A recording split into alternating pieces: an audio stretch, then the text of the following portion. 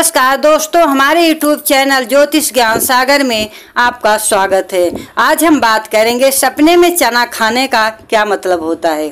सपने में चना खाने का मतलब जानने से पहले आप सभी मित्रों से निवेदन है कि अगर आप हमारे चैनल पर नए हैं तो हमारे चैनल को सब्सक्राइब करें ताकि आने वाली हर वीडियो आप तक सबसे पहले पहुँचे और आप सपनों के बारे में जानकारी प्राप्त कर आने वाली परेशानियों से बच सके और खुशियों का आनंद उठा सकें। आते हैं आप सभी मित्रों के प्रश्नों के उत्तर पर। अगर कोई स्त्री या पुरुष अपने सपने में चना खाते हुए देखता है तो यह एक अच्छा सपना है।